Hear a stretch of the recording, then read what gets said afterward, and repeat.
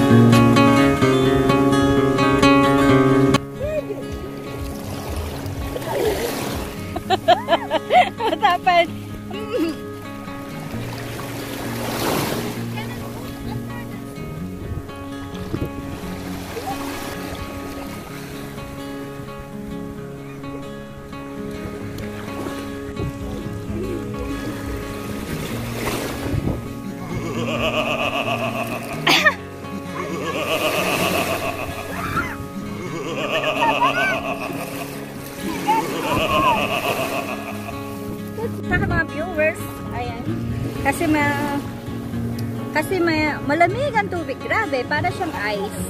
Para siyang melted ice, yeah. So, inuna natin basahin ang ating buhok. Buhok muna. Yeah, inuna natin basahin ang buhok. Ayan, bababad muna natin yung ating ulong basa. So, ayan. So, dahil malamig, my gosh. Lulublob lang tayo pag pauwi na. Lulublob tayo pag pauwi na mga kanili dyan. Shout out sa mga viewers. Thank you! Ayan. Ganda nandito kami sa beach. Ayan. Dito kami sa bakasyon. Pasyal-pasyal. Ayan. So, mainit. Oh!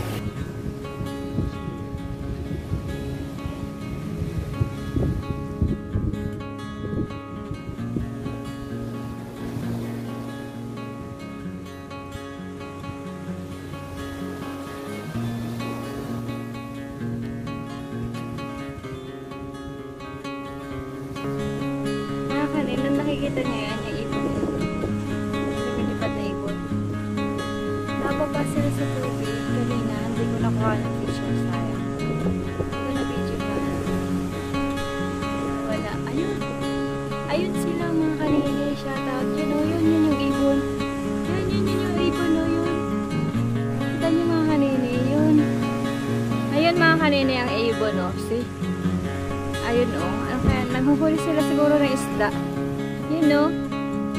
Wow.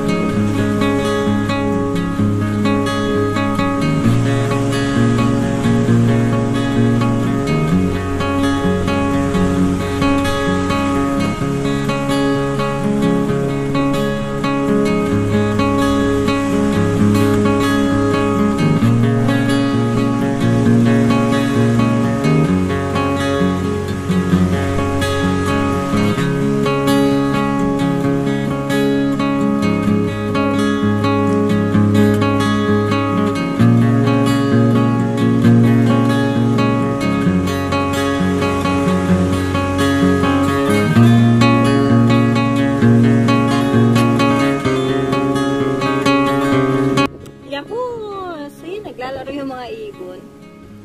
Ayun na pala, malayo na pala sila.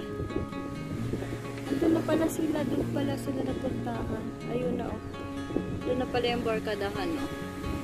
Para silang din, nakatungtong lang sila sa tubig oh. Parang lupa lang yung tinutugtugan ng mga ibon. ano mga kanina oh, shout out sa aking mga viewers. Ayan, nag-video na lang po tayo ng mga ibon. Ayan. Hindi ko anong tawag sa ibon na yan. Ano kayong pangalan niya? Sa nakakalam po, pwede nyo pong i-comment below down para malaman po natin kung anong klaseng ibon yan. Ako may kumparato kalaban. Wait.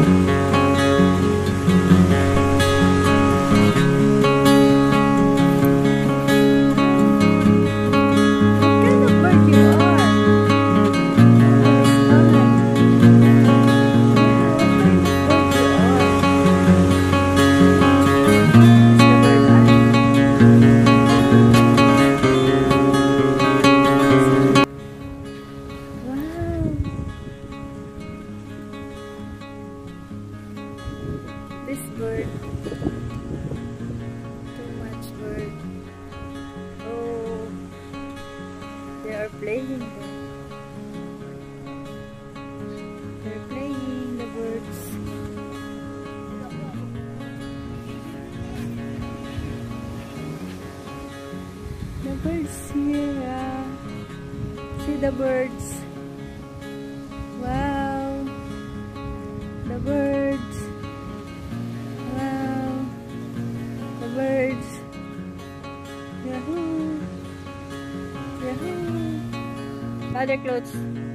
The other... Ah, I can't see the seagull na.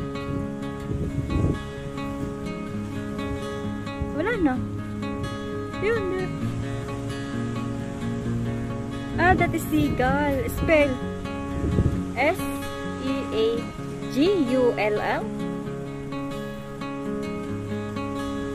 Seagull? wow, so nice. I saw the birds. Like duck. How to swim in the water.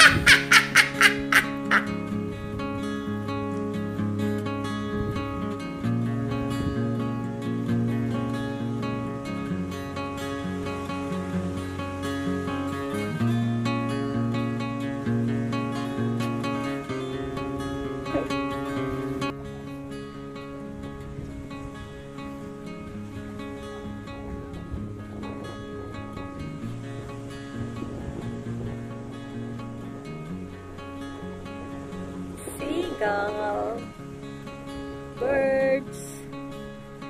This bird two, four, six, seven, eight,